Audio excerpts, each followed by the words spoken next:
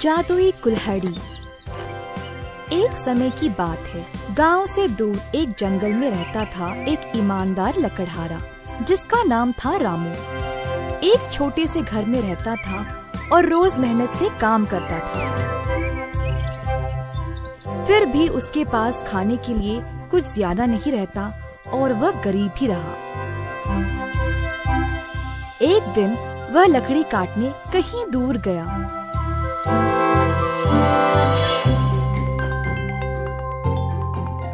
एक बड़ा सा अच्छा पेड़ की खोज में वह काफ़ी दूर तक चला।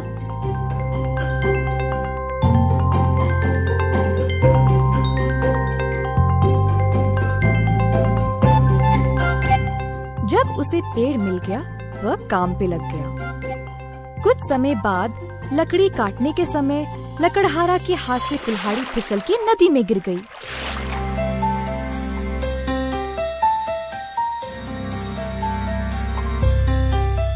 बेचारा रामू ये देखकर रोने लगा। मेरे पास केवल वो कुल्हाड़ी थी, अब वो भी खो गया। अब मैं अपनी रोजी रोटी कैसे कमाऊं? रामू उदास बैठा था और अचानक से उसे कुछ सुनाई दिया। मुड़ के देखने पर नदी के अंदर से एक देवी माँ प्रवेश हुई। मैं इस नदी की देवी हूँ। विश्राम करते समय कोई कुल्हाड़ी मेरे पास गिरी। कहाँ से गिरी? ये देखने जब ऊपर तक आई तो तुम्हें रोते हुए देखा। क्या हुआ तुम्हें? रामू ने अपने आँसू पोछा और कहा, देवी माँ, जो कुल्हाड़ी गिरी थी, वो मेरी ही है। मैं एक गरीब आदमी हूँ। लकड़ी काट के पैसे कमाता हूँ। मेरी कुल्हाड़ी फिसल के नदी में गिर गई और अब मेरे पास रोजी रोटी कमाने का और कोई रास्ता नहीं है। कृपया करके अगर आप मुझे मेरी कुल्हाड़ी वापस कर दे तो मैं आपका आभारी रहूँगा। देवी तुरंत नदी के भीतर चली गई और वापस ले आई एक सुनहरी कुल्हाड़ी।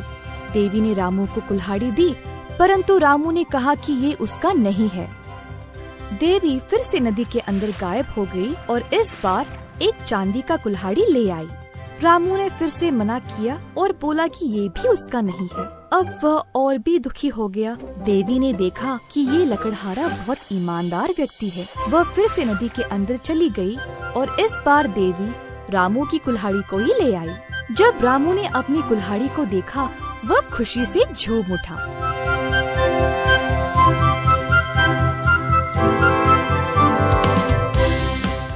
देवी माँ का बहुत बहुत धन्यवाद किया। रामू की सत्यता देखकर देवी माँ ने सोने और चांदी दोनों कुल्हाड़ियों को रामू के हाथ में सौंप दिया। लकड़हारा तीनों कुल्हाड़ियों को खुशी खुशी अपने साथ घर ले गया।